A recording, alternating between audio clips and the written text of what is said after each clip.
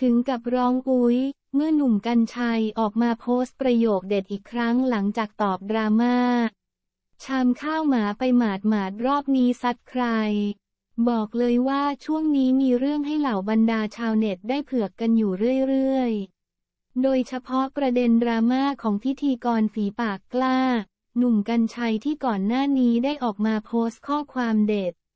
โยงได้ทุกเรื่องสร้างเรื่องโกหกได้ทุกอย่างโดยไม่สนสี่สนแปดโคตรไร้ราคา โทษ ไอ้หน้าชามข้าวหมา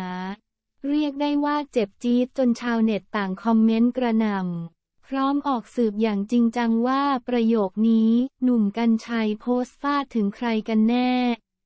หนุ่มกัญชัยตอบปมชามข้าวหมาโพสต์ลอยๆ จนกระทั่งเมื่อวาน วันที่ 13 มีนาคม 2567 หนุ่มกัญชัยก็ได้ออกมาให้สัมภาษณ์กับสื่อมวลชน ถึงประเด็นนี้ดังกล่าว โดยเจ้าตัวได้ตอบว่า ไม่มีอะไรโพสต์ไปอย่างนั้นเอง คือไปรู้เรื่องบางเรื่องมา คือพี่ไม่ได้พูดเจาะจงว่าชื่อใคร แค่พูดลอยๆ ว่ามันจะมีคนที่ชอบโยงเรื่องไปในทางที่ผิด ไม่ได้เป็นเรื่องที่ถูกต้องเราก็เลยพิมพ์ลอยๆขึ้นมา นึกอยากจะพิมพ์ก็พิมพ์ธรรมดาพี่เป็นคนไม่ค่อยพิมพ์อยู่แล้ว เป็นคนไม่ค่อยลงเฟซบุ๊กไม่ค่อยลงไอจีมันก็จะมีคนมากล่าวหาบางทีก็ว่าเราจ้างอวตารไปคนนั้นบ้าง ว่าคนนี้บ้างไปสร้างให้สังคมมันปั่นป่วน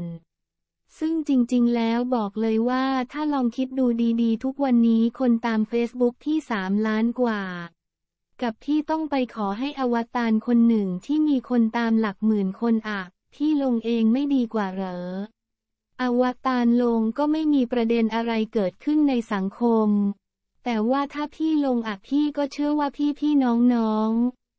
สื่อเอาไปเล่นเป็นข่าวซึ่งพี่ก็ไม่เคยลงนะ เพราะพี่รู้สึกว่าการที่เรามี follower ติดตามเราเยอะๆ บางครั้งเราก็ไม่จำเป็นต้องเอา Facebook ไปเป็นอาวุธในการไปทำร้ายใคร หนุ่มกัญชัยฟาดอีกยก หลังจากเคลียร์ดราม่าชามข้าวหมาไปหมาดหมาดล่าสุดมีประเด็นดราม่าใหม่อีกขึ้นอีกแล้ว เมื่อหนุ่มกัญชัย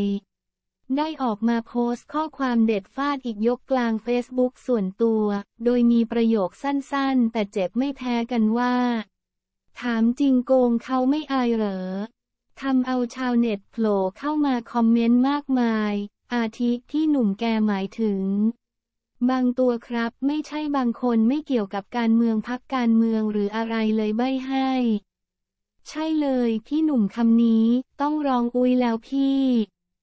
กฎหมายไทยเอื้อลูกหนี้ครับ ล่าสุดห้ามโทรทวงเกินวันละครั้ง ก็อยากได้อะครับเฮีย